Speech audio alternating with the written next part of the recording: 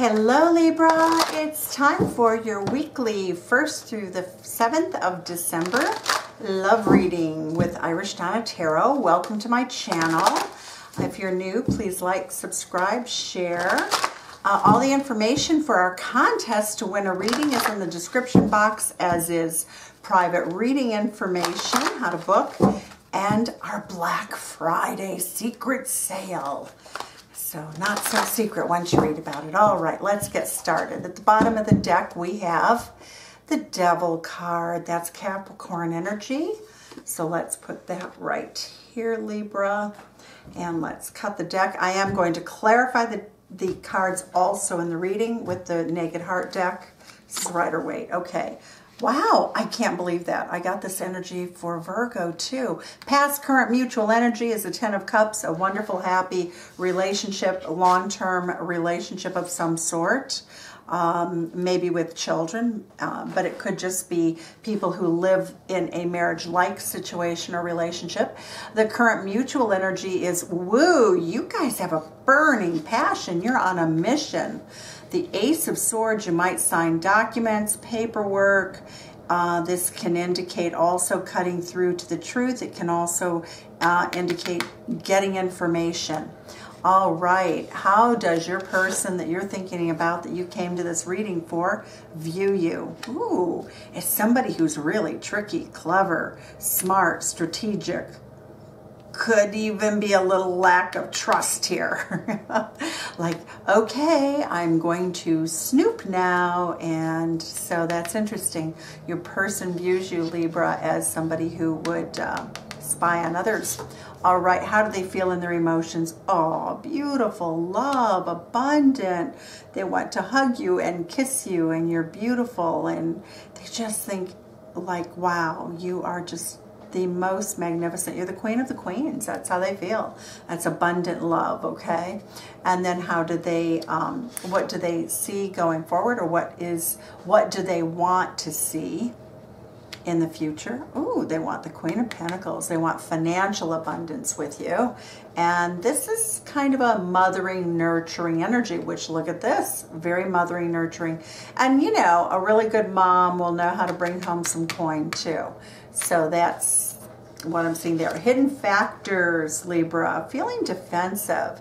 This person sometimes feels defensive. They're tired. They're weary worn. They've had some sort of a struggle that's gone on in their life, some battle that they feel, and I'm not sure whether it's you or with someone else, but we'll clarify that. Uh, the advice from the Tarot is to take it slow and easy, be very deliberate. Whatever goes on this week is focus on your money, focus on practical matters. And what is the outcome? Magician card. Wow. Okay, so you guys, that's Gemini energy. You're manifesting something. We have some Virgo energy here. We have the Capricorn energy you know, our Empress over here is Taurus energy. The Seven of Swords is Aquarius energy. So this is really interesting, sort of freedom-loving Aquarius energy. Uh, the Nine of Wands, you know, is sort of a, well, it's the ninth house. It's Sagittarius. Um, the Eight of Wands moving forward really rapidly here is Sagittarius energy. And we have the Ace of Swords, which is just air sign energy generally and the Ten of Cups energy, which is Pisces energy. So, so and we have Capricorn here.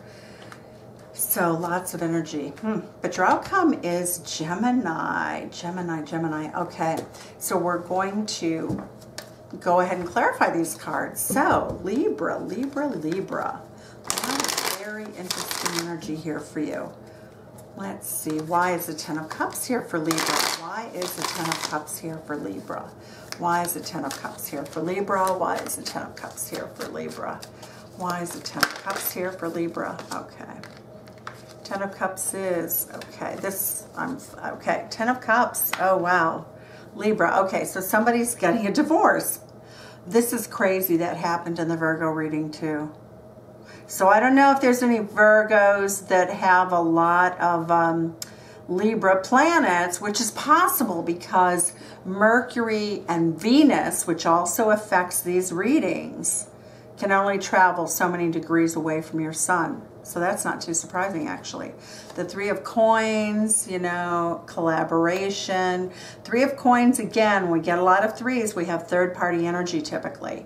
And what else? Let's see, Four of Wands, stability here. So you have stability. Somebody has stability in this marriage. And how do they feel about the marriage? Yeah, Eight of Pentacles. This person does not look like they want to leave the marriage, okay?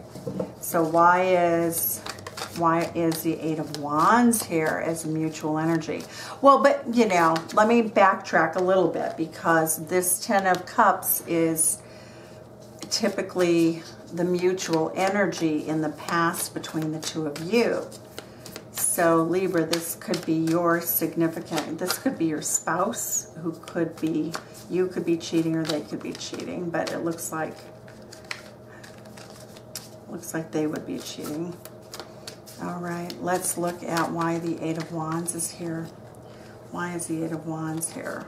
Okay, the World card. You're fat, you're quickly moving forward with passionate energy to worry about something, which is the death card. Wow. Oh, innocence of pentacles.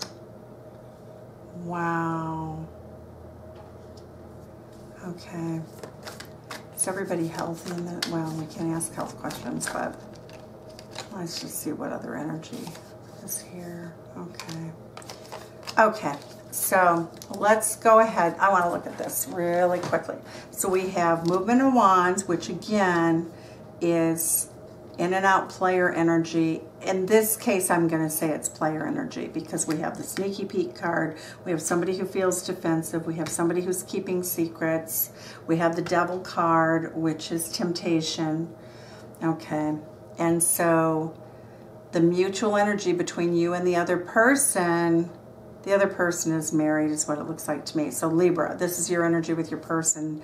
Currently, you have a good relationship. You have a lot of passion. This person comes in and out, sneaks over to see you. Um, it does look like this in Innocence of Pentacles would be the Page of Pentacles. So you guys probably met at work or you talk about work a lot. Death, there's going to be some really big transformation coming in here. And it shows that both of you are passionately moving towards that transformation, but it causes you a great deal of worry. Okay, so let's see what else is going on. Why is this Ace of Swords here? Why is the Ace of Swords here? Equal give and take, and that is on your person's mind that you're dealing with. They want equal give and take, and the Spirit of Swords is Aquarius energy. So some desire for freedom, you know, equal give and take, freedom, a very much more like a very egalitarian relationship, very equal. Okay, why is the Seven of Swords here?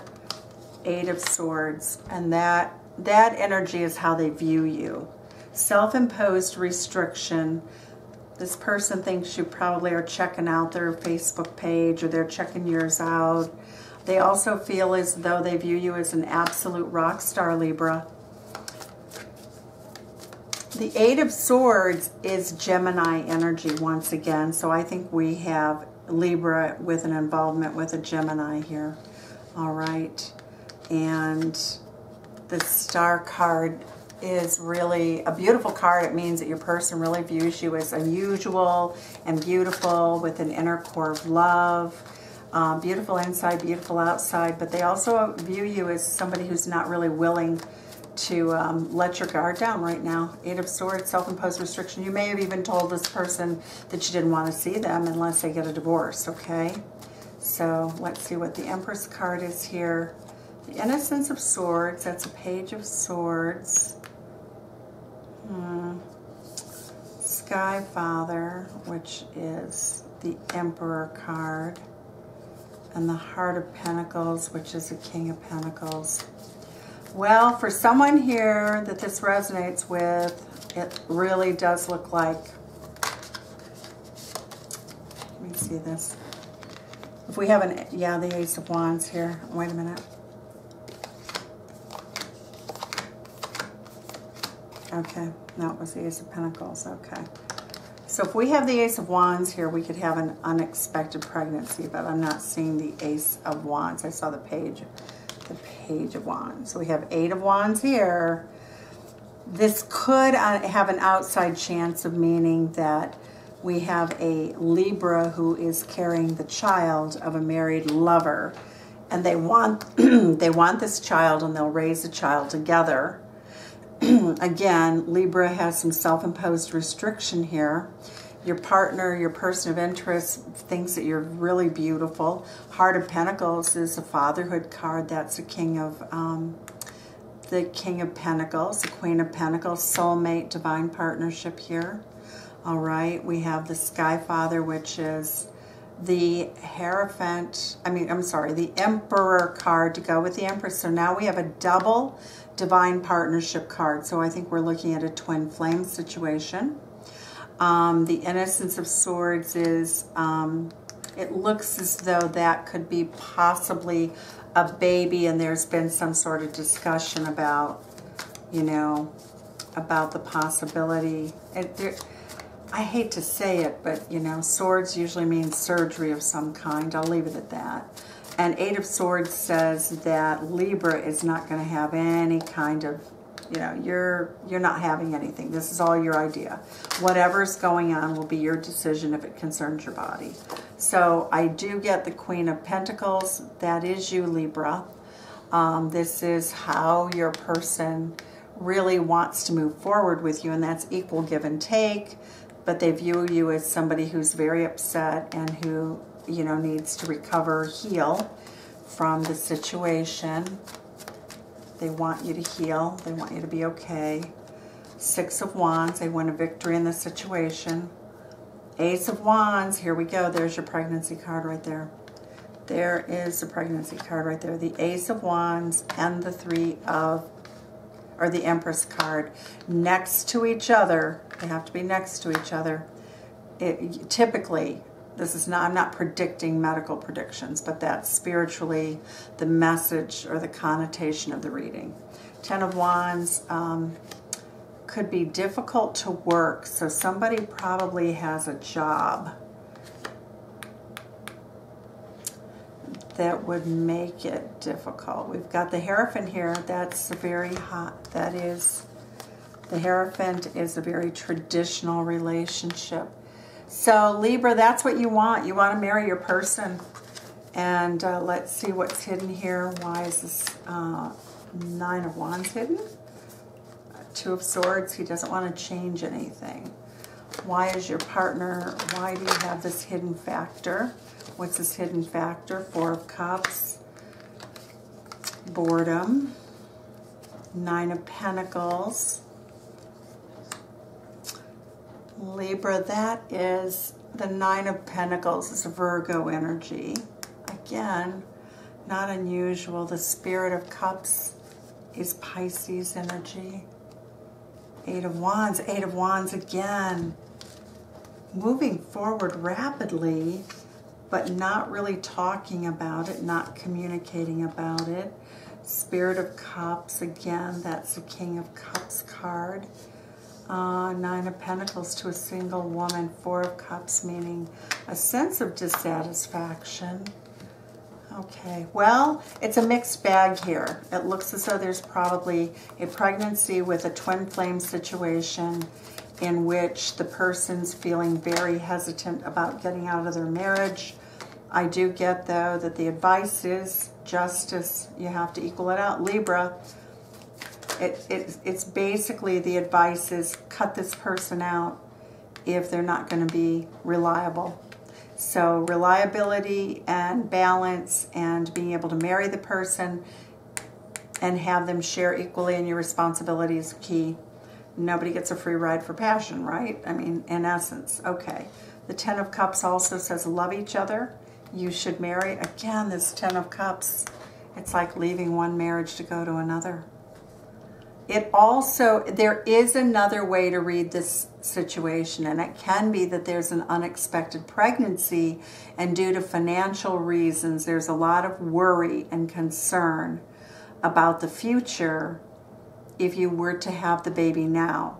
That would affect two different sorts of um, profiles for Libra. Somebody who's very young and who hasn't finished college or who may be getting their um, you know, like somebody who's going to medical school, where it's a real, it's going to be a very enriching kind of a job and career.